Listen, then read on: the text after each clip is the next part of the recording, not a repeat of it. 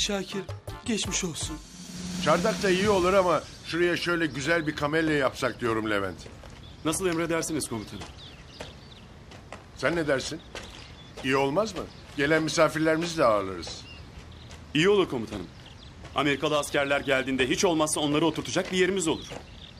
Ahmet Başçavuş, senin deli yapabilir mi bu işi? Hamza mı?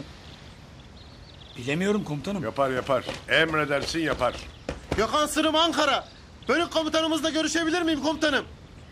Görüş bakalım. Komutanım, ben Acemi Birliği'nde Isparta komandodaydım. Oradaki bir yanlış durum sonucu piyadeye ayrıldım. Bu konuyla ilgili daha önce de yazılı ve sözlü müracaatta... Dur bir dakika, bir dakika. Sen komando mu olmak istiyorsun tekrar? Evet komutanım. Zaten tam Kayseri hava indirmeye giderken buranın aracına bindim. İndim indiye geldim komutanım. Kaç aylık askersin sen peki? Sekiz komutanım. Sekiz mi? Askerlerin yarısı bitmiş oğlum. Daha ne komandosundan bahsediyorsun? Ama komutanım hakkım yendi. Ben komando. Bir dakika, yeter dedim. Gökhan seni kan tutmuyor mu? Kan demeyin komutanım. Başım dönüyor. E nasıl komando olacaksın oğlum? Düşmanı nasıl alt edeceksin? Aç bırakarak öldürürüm komutanım. Zaten dört saat aç kalsa ölür. O senin için geçerli Gökhan. Normal insan en az 30 gün dayanır açlığa. Duymuyor musun ölüm orçlarını falan? Ben Ramazan'da tutamadığım için gözümden kaçmış komutanım. Tamam oğlum git hadi. Daha fazla rahatsız etme komutanımızı. Yapabileceğimiz bir şey olduğunu sanmıyorum. Ama ben yine de araştıracağım. Sağ olun komutanım.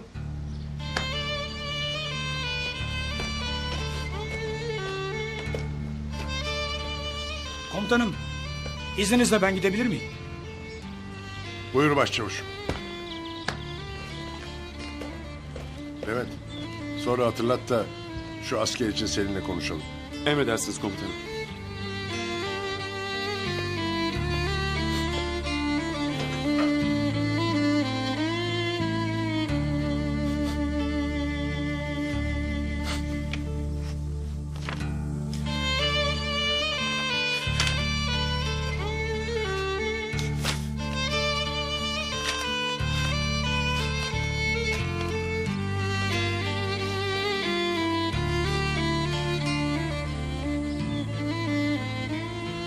Hiç anlamıyorum komutanım.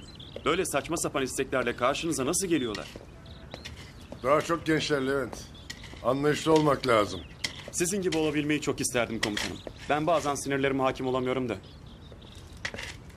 O ne yapıyor orada? Oğlum bunlar ne?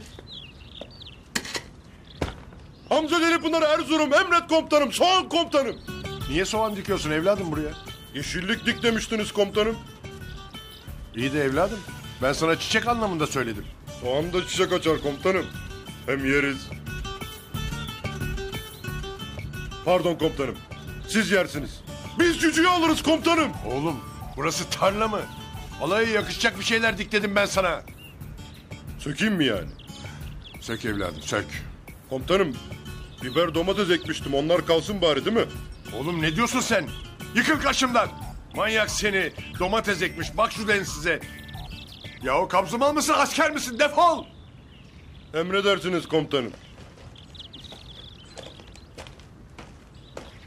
Her zaman sakin olunamıyor tabii.